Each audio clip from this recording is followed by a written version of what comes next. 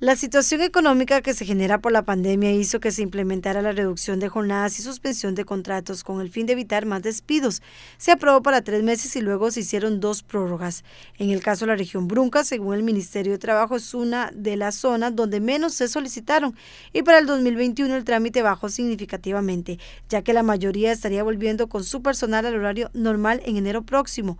Sin embargo, el gobierno está tramitando una prórroga de tres meses más que no fue aprobada por la Asamblea Legislativa antes de su receso a vacaciones, por lo que el tema se tocaría a partir del 11 de enero. Esperemos en buena hora que, haya, que, sea aprobado por la Asamblea este, la siguiente prórroga, pero igualmente el patrono puede gestionar la acción para, este, para que el ministerio continúe con el trámite de prórroga, mientras eh, se da la, la autorización por parte de los diputados eh, en torno al, tema de la ampliación de prórroga por reducción de jornada. El problema, explicó la funcionaria, es que a muchos se les vence la prórroga ahora el 31 de diciembre, por lo que el trabajador debería ingresar tiempo completo, mientras que quienes no hicieron la prórroga el 1 de abril se vence en el periodo que comenzó. Desde el punto de vista laboral y legal, el patrón, el trabajador debería ingresar el primero a tiempo completo.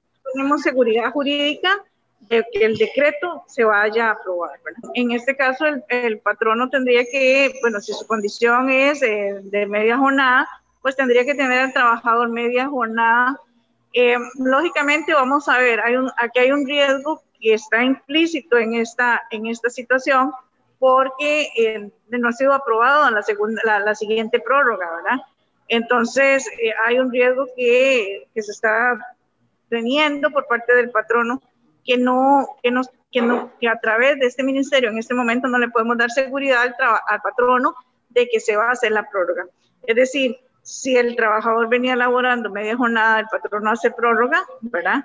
Este, pero si no se, si no se aprueba eh, la prórroga en la asamblea, pues entonces ahí pues patrono tendrá que pagar la diferencia. Ahora el proyecto debe esperar a enero para ser aprobado en un segundo debate.